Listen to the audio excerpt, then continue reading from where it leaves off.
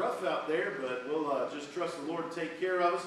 And uh, certainly glad you're here tonight. Thank you for coming out this evening. And uh, we're going to go ahead and turn to the book of 1 Peter, chapter 2 tonight. If you'd like to go ahead and turn there with me. Uh, 1 Peter, chapter 2. And uh, just as this morning, as I was mentioning in the book of Jeremiah, uh, where the prophet uses a lot of uh, word pictures, if you will, he uses a lot of things to kind of help us uh, understand what the Lord is trying to say to us. Here in the book of First Peter, uh, we find that uh, there is a lot of word pictures again. there's a lot of comparisons. There's a lot of things that the Bible even tells us that we as Christians are like uh, that we as people are like. And so I want us to look at that tonight. And as we look at it, ask, us, ask ourselves, you know, what the Lord would have us to learn, where we are in our relationship with the Lord, and where the Lord wants us to go as well. And so we'll look at that tonight. We're going to begin in 1 Peter chapter 2 and verse 25. Uh, 1 Peter chapter 2 and verse 25, I'll read it to you there. It says, For we were as sheep going astray, but are now returned to the shepherd and the bishop of our souls. And so the first comparison that it says here is it says that we were as sheep going astray. And we talked about this morning a little bit how the Bible said in Psalm 100 that we are His people. We are the sheep of His pasture. And we understand tonight that the Bible in several places uses the analogy or the picture, the illustration, if you will, of us being the sheep and Him being the shepherd. And it says here that before we came to Christ, before we were saved, it says here that we were as sheep going astray. Everyone just going their own direction, doing their own thing, trying to go through life and accomplish something without the direction of the Holy Spirit in our lives. And it says here that Peter says, We were as sheep going astray. Uh, hopefully, tonight, if you're here and you've accepted Jesus Christ as your Lord and Savior, then now you realize that we do have a shepherd. The last part of that verse says that we are returned unto the shepherd and the bishop or the overseer of our souls. You know, we need to understand that tonight. You know, we mentioned this morning that sheep are really, they're kind of senseless animals. They're, they're directionless. They can't really determine what is best for themselves, and so that's why they really need the shepherd there. And we find the Bible tells us, in fact, Jesus Christ himself in the Gospels, he says that he is the good shepherd. He is the one that is there to lead us and to guide us and to care for us and provide for us, and he chooses to do all of that. And one of the stories we find over in Matthew chapter 18, Jesus gives the story of a shepherd who has a hundred sheep. And he says that if 90 and 9 are in the fold, but he's missing that one sheep, he said he'll go and he'll search and he'll look for that sheep and he'll bring it back. He'll care for it. He'll protect it. Do you know tonight we need to understand that Jesus Christ does that very thing for us? He cares for us. He wants to bring us in. He wants to, to be there for us and to provide for us. Uh, just as this morning we looked at Psalm 23 for just a, a brief moment where the Bible says, The Lord is my shepherd, I shall not want. It says, He leadeth me beside still waters. He leadeth me to the green pastures. He provides for me all that I need. Well, we understand tonight that the Lord is our shepherd, and He wants to be there for us. He wants to provide for us. He wants to care for us. But before we come to know Him, or when we try to do our own thing, the Bible says we are like sheep going astray. I won't talk about it very much because we did mention this morning how uh, on our own, you know, the sheep many times they get themselves in trouble. Uh, the shepherd is there saying, I'm ready to care for you. I'm ready to provide for you. I'm ready to protect you. But so many times the sheep want to wander off in their own direction and take things into their own hands and they get themselves into trouble. So many times we're like that, but we need to do as this verse says and return to the shepherd and the bishop or the overseer of our souls. But I want to give you another picture here tonight. The Bible gives us in 1 Peter uh, chapter 2. Let's go back to verses 1 and 2 of 1 Peter chapter 2. It says there, Wherefore laying aside all malice and all guile and hypocrisies and envies and all evil speakings, as newborn babes desire the sincere milk of the word, that ye may grow thereby. Not only does the Bible tell us here in 1 Peter that we were as sheep going astray, but what does it tell us in verse 2 of chapter 2? It says, as newborn babes, We are to desire the milk of the word that ye may grow thereby.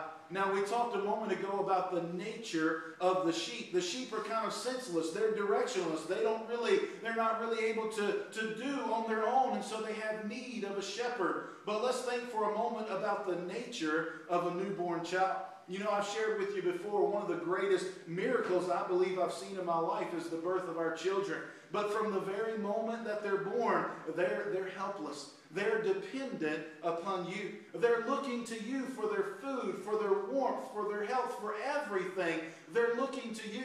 And that's a wonderful opportunity as a parent. But also, the Bible says that when we come to know Christ, when we first begin in that relationship with Him, it compares us to those newborn babes. It compares us to that young and that helpless child that needs help from others, that needs the help of the Lord, that needs the, the milk and the nourishment of the Word of God so that we can grow in that. And so we see tonight that Peter uses this illustration that as we come to Christ, we are as newborn babes and we need to grow. You know, I want you to think about the, the needs of a newborn. I believe that, first of all, we understand it says here that a newborn needs food. It says here that they desire the sincere milk of the word that they may grow thereby. Now, most of you know, and I'm sure that you do, but a newborn, they, they have a way of telling you when they want some food. And it's not always pleasant, you know. And they, they let out cries and screams and all these sorts of things, and they let you know that they want some food. They have a desire for that food.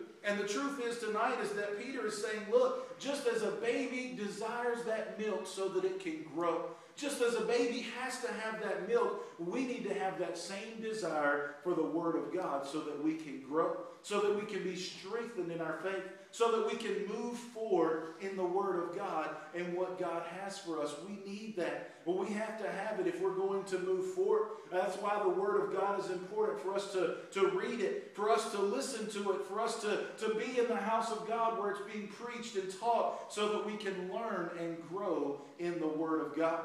And so we see here that that's a very important part and that the Bible tells us to do that. But not only is food important, but fellowship is important. You say, preacher, what do you mean? And you don't, you don't have a newborn baby around crowds or whatever, but you know, one of the things I read is it said that in studies that were done, in babies that were born premature, in babies that were in incubators and things such as that, the babies who had a parent who would come in and, and, reach in and touch them or talk to them and have communication with them and said those babies had a much greater chance of survival. Why? Because we as human beings, we thrive on contact with one another. We thrive on being around one another. You know, this past Sunday or this past, sorry, Wednesday night, we talked about the aspect of fellowship in our Christian lives. We talked about the importance of being around other believers. If we're going to grow in the Word of God, if we're going to grow in our spiritual walk, then it is vital that we be around others and that we develop that relationship, that we have that love, that nurture, that care that others can give along the way as we move towards spiritual maturity. But not only do we see that tonight there in chapter 2, but now we're going to skip back to chapter 1 there. Uh, First Peter chapter 1 and verse 14, it gives us another illustration.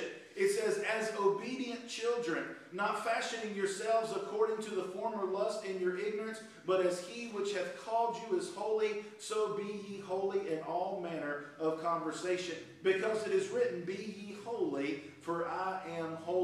So not only does Peter tell us that we are like sheep going astray, and he tells us that we're like newborn babes, but what does he tell us here? He says that we are as obedient children, fashioning ourselves according to the former lust, or not fashioning ourselves according to the former lust in our ignorance. In other words, he says that as children of God, we have a choice to make. And that choice is to be obedient children to follow the commands of God, to do as God has told us to do. You don't need to understand tonight that obedience is a learned behavior.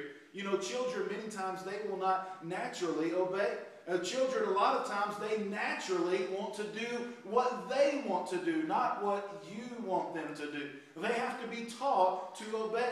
They have to be taught to submit themselves to the parent or to the authority. And it is a learned behavior. And so we see here that it tells us to be as obedient children. You know what? I'm going to tell you tonight that doesn't happen in the natural realm, but that doesn't happen in the spiritual realm by itself. It happens because we make a choice to obey God. Because we make a choice to do what God tells us to do. You know, as we're like the newborn babe and we're reading in the Word of God and we're desiring the Word of God and we're soaking up the Word of God, when we come to something that maybe rubs us wrong, when we come to something that maybe tells us we should be doing something that we're not, or maybe that we shouldn't be doing something that we are, then we need to be as what? As obedient children. We need to say, Lord, you know what? It's not my will, but your will that I want to do. It's not about what I want to do, but it's about what you want me to do. And we need to follow God's will and God's plan for our lives. And so I encourage you tonight to, to make yourself, to determine tonight that you will be as obedient children. You know, the Bible tells us that Jesus, our greatest example, over in Hebrews chapter 5 and verse 8, it said that he learned obedience. He submitted himself to the will of his heavenly Father. In fact, we've seen many times there in the Garden of Gethsemane, just before his death, he prayed and he said, Father, if there be any other way, let this cup pass. But he said, Not my will, but thine be done. What was Jesus himself saying? He was saying, Father, I will be an obedient child unto your whip. Do you know what God wants us to do? He wants to be an obedient child unto his whip. He wants us to be, just as Peter has told us here, to be obedient children. And it says there, not fashioning ourselves after the former lust of this world, but being conformed and being following the example of God, being holy, because it is written, Be ye holy, for holy. We're supposed to live according to how God wants us to live, not according to how the world wants to live. You know, we have that choice to make tonight. Either we can obey or we can choose to disobey. Or we can follow what God tells us or we can choose to turn away from what God tells us. And we must make sure that we're following and we're obeying God's will and God's plan for our lives. You know, the Bible tells us over in uh, the book of Romans, chapter 12, uh, verses 1 and 2, where it's talking about submitting ourselves, giving ourselves, uh, offering ourselves as a living sacrifice. In the second verse there, it says, Be not conformed to this world, but be ye transformed by the renewing of your mind.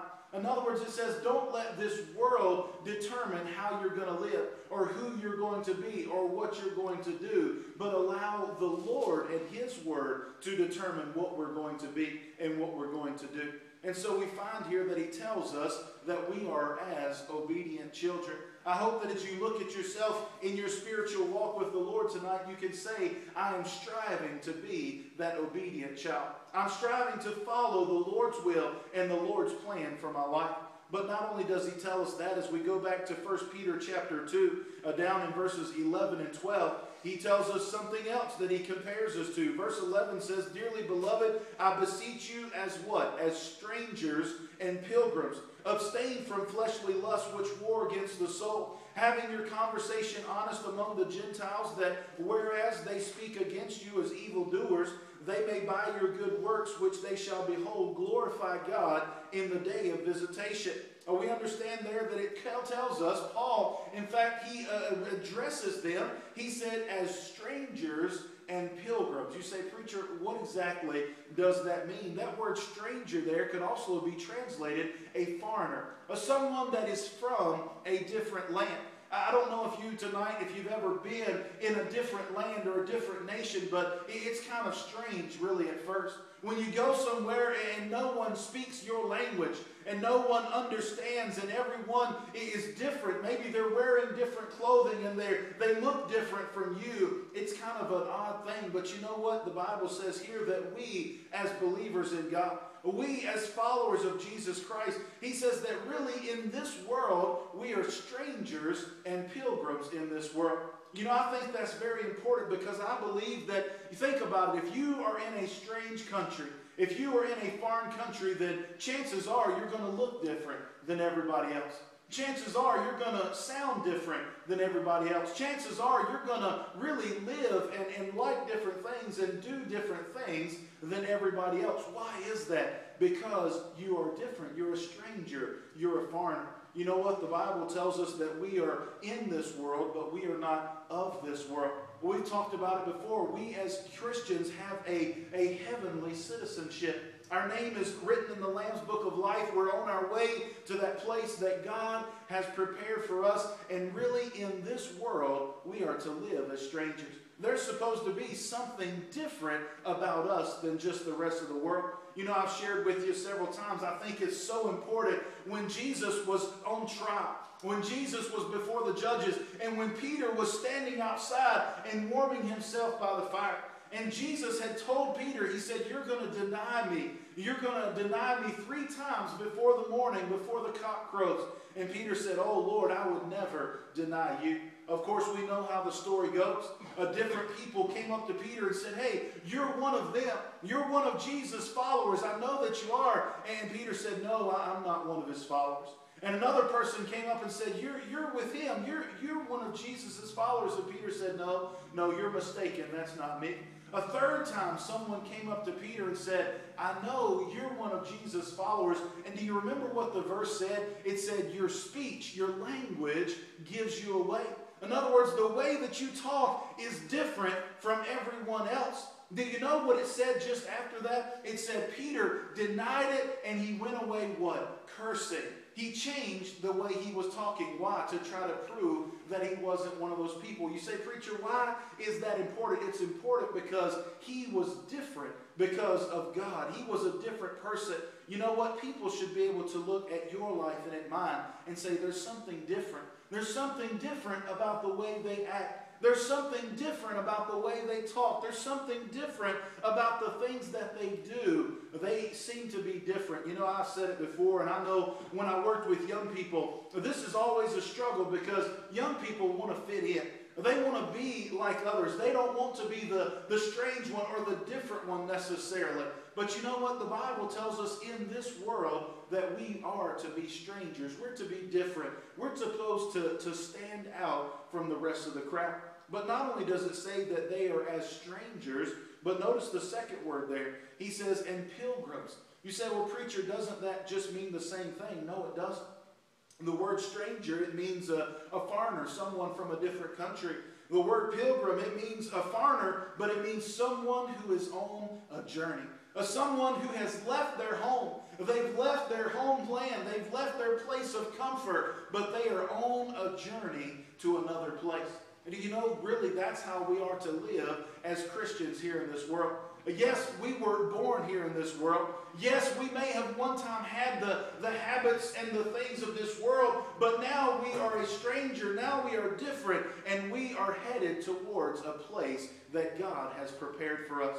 Last week we looked at Abraham over in Hebrews chapter 11. And one of the things it said about Abraham is it said that he looked for a city whose builder and maker was God. You know what? That should be our desire tonight as well. We should be looking for another place. You know, there's an old song we sing in our hymn books that talks about this world is not my home. I'm just a passing through. My treasures are laid up somewhere beyond the blue. I hope that you could say that tonight as your testimony. I hope that you could truthfully say, This world is not home to me, but my home is somewhere beyond the blue. The place that I'm looking for is the home that God is preparing for me. Over in the book of Titus, chapter 2, it talks about us looking for the returning of our Lord and Savior, Jesus Christ. Looking for that, that blessed hope and the glorious appearing of our Lord and Savior, Jesus Christ. That needs to be our desire tonight. We don't need to get very comfortable, if you will, here in this world. But we don't need to be adjusted to this world or the things of this world, but we need to be looking to that home, to that place that God has for us. Peter says here that we are strangers and pilgrims in this world. But then the final thing I want us to see is there in 1 Peter chapter 2 as well. If you will go back with me up to verse 5 of 1 Peter chapter 2 and verse 5, it said, Ye also, as lively stones, are built up a spiritual house, an holy priesthood, to offer up spiritual sacrifices acceptable to God by Jesus Christ. So, what is the last uh, illustration we see? It says that we are as lively stones. That word really can be translated as living stones. We are living stones. Now, you may say tonight, preacher, what in the world does it mean that the Lord says, I am a living stone? You know, over in the book of Romans, as we mentioned a moment ago, it says that we are to be a living sacrifice. In other words, we give ourselves to God. We give our lives to Him, but not in death, but in life. We're still living, and we're supposed to be living for Him. Here it says that we are to be living stones, and it says, built up a spiritual house, a holy priesthood, to offer up spiritual sacrifices accepted to God by Jesus Christ. I want you to notice a couple of things about stones, and then we'll be done. First of all, we understand that stones are for building. The stones are for building. In fact, it amazes me that you can go to some places of the world and you find buildings that were built thousands of years ago, and some of them are still standing. Some of them still are very beautiful. Why? Because they were built from stone. Because they were built very solidly. They were built very firmly, and they still stand. You know, I believe the Bible tells us here that we are to be living stones to stand as a building for God to be a representation of God here in this world. So that others can look to us just as they would look to some stone or something and say, that person is standing and representing God. You know, the Bible tells us over in 1 Corinthians chapter 3, it talks about us being the temple of God. You know, it's important tonight that we live our lives with the understanding, with the acknowledgement that we are the temple of the Holy Spirit, that God lives and dwells within us. And we want to be as much of a building as we can be. In Sunday school just a few weeks ago, we looked at Solomon's building of the temple. And we looked at all of the elaborate things that went into that, all of the gold and the silver and the jewels and the precious stones that went into the building of the temple. And you say, Preacher, why is that important? Because we want our lives to bring honor and glory to God. We want ourselves, our bodies in this world to bring honor and glory to God just as the temple did, uh, just as any place that is prepared for our God to live and to dwell.